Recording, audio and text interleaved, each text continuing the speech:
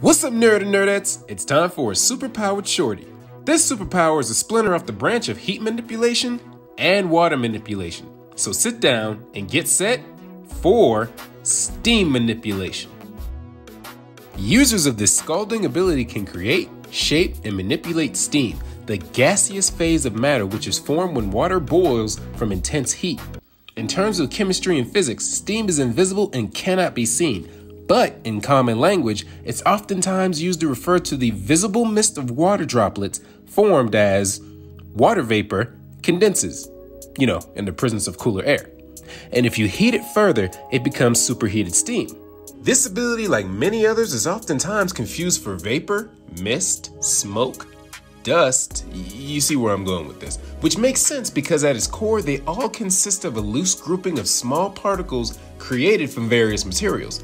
Now, don't get me wrong, this ability is still its own unique power, mainly because of the water and the heat aspect, but media oftentimes overlaps the previously mentioned powers with this power because they're so similar. So, it's fairly common to not have a distinction when it's portrayed unless it's for a plot relevant reason. Me personally, if I was any more lazy, I'd just slap Mr. Dust Manipulation on them all and call it a day. But there's no fun in that. So expect more videos from the others I mentioned previously. You know the fun thing about Steam? It starts with the same letter as Shey. And you know what else starts with the same letter as Shey? Subscribe. As in the subscribe button. As in doing Shey a favor and hitting that like and subscribe button. This shorty might evaporate quick just like real steam, but you can still help collect and pass the vapors of this video on by hitting that share button. If you'd like an explanation on its symbolization or info on its history and lore, check out my video on its parent superpowers water manipulation, and heat manipulation. You also get to see my self analysis of its importance in both world culture and popular culture. The links are in the description. Now, with the power to manipulate steam comes the natural ability to attack with, defend with, or control steam with steam attacks. They can create their own source of steam separate from outside sources with steam generation, and since you can generate your own source of steam, it would make sense you're able to infuse the element into your life energy with Steam Aura. The user is also able to use Steam to recover or heal any injuries with Steam Healing. Well, what if you want to take this to the next level? Well, don't sweat it. Just take your Steam Aura a step further and transform your physical being into Steam with Steam mimicry. Or project this power outward and transform outside matter into steam with evaporation. Yeah, I got you guys on that one.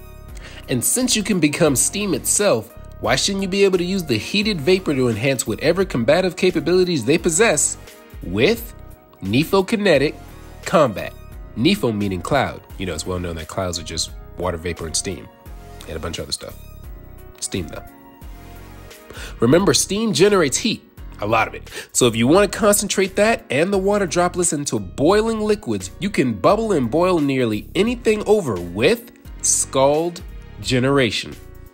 And lastly, the user is able to gather the surrounding moisture in large quantities and channel it underground into hollowed out areas, don't ask where those come from, superheat it, and then release it into a massive burst of pressurized steam with geyser creation.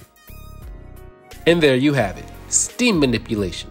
In a nutshell, this ability is actually very useful. Yeah, it actually is, mainly because it contains control over water and heat.